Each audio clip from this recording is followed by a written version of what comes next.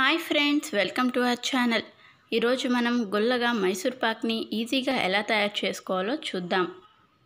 ముందుగా ఒక బాండీని తీసుకుని కొంచెం ఆయిల్ వేసుకోండి. అది హీట్ అయ్యేలోపుగా ఇంకో స్టవ్ మీద హాఫ్ క్వాంటిటీ ఆయిల్ అలాగే హాఫ్ నెయ్యి వేసుకుని ఆ రెండు మిక్స్ అయ్యేలాగా హీట్ చేసుకోండి. మనకి ఈ నెయ్యి హీట్ అయిన తర్వాత శనగపిండిని సిమ్ ఫ్లేమ్లో పెట్టుకుని వేయించుకోండి. మనకి శనగపిండి యొక్క పచ్చివాసన అంతా పోయి మంచి సువాసన వచ్చేంత వరకు వేయించుకోవాలి. ఇలా కలుపుకుంటూ ఉండలు లేకుండా వేయించుకోండి. దీనివల్ల మన రెసిపీకి మంచి టేస్ట్ అండ్ మంచి స్మెల్ వస్తుంది.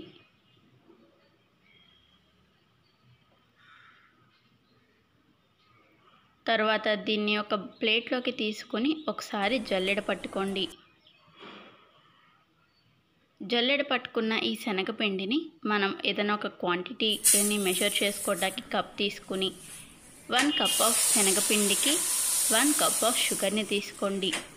వన్ కప్ ఆఫ్ షుగర్కి హాఫ్ కప్ ఆఫ్ వాటర్ పోసుకుని పాకం రానిచ్చుకోవాలి మనం పక్కన పెట్టుకున్న నెయ్యి ఆయిల్ అనేవి రెండు మిక్స్ అయ్యి హీట్ అయ్యాయి. ఈ పంచదార మిశ్రమాన్ని తీగపాకం వచ్చేంత వరకు కలుపుకుంటూ చూసుకుంటూ ఉండాలి. చూశారు కదా ఫ్రెండ్స్ ఇక్కడ నాకు తీగపాకం రెడీ అయ్యింది సో నేను ముందుగా వేయించి జల్లించి పెట్టుకున్న శనగపిండిని కొద్ది కొద్దిగా కలుపుకుంటూ తిప్పుకుంటూ వేసుకుంటున్నాను. ఇక్కడ నేను శనగపిండి అంతా ఒకేసారి వేసుకున్నానండి. సో నాకు లైట్గా ఉండలు వచ్చాయి బట్ తర్వాత నార్మల్ అయిపోయింది. మీరు కలుపుకుంటూ కొంచెం కొంచెంగా శనగపిండిని యాడ్ చేసుకుంటూ తిప్పుకోండి. ఈ వండలన్నీ లేకుండా బాగా కలిసిన తర్వాత ముందుగా మనం హీట్ చేసి పెట్టుకున్న ఆయిల్ అలాగే నెయ్యల్ని కొంచెం కొంచెంగా పోసుకుంటూ ఇలా కలుపుకుంటూ ఉండాలి.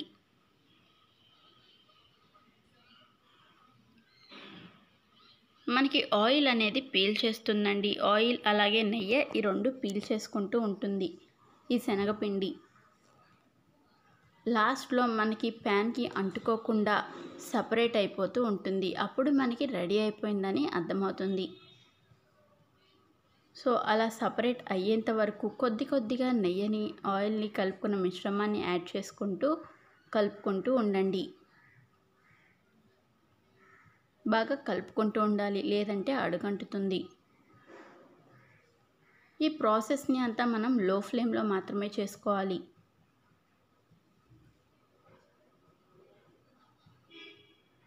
చూస్తున్నారు కదా ఫ్రెండ్స్ నాకు కొద్ది కొద్దిగా ప్యాన్ నుంచి సపరేట్ అయిపోతూ నెయ్యి అనేది బయటికి వస్తుంది.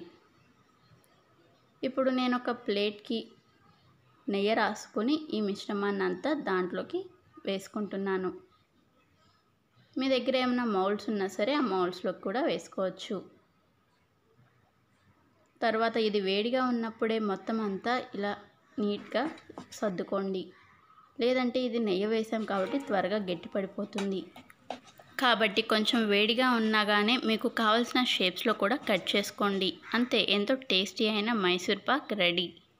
మరి చూశారు కదా ఫ్రెండ్స్ మీరు కూడా ఎంతో టేస్టీగా అండ్ ఎంతో సాఫ్ట్గా వచ్చే ఈ మైసూర్ పాక్ని మీ ఇంట్లో కూడా తయారు చేసుకోండి. Please do like share and subscribe our channel and press bell icon for further videos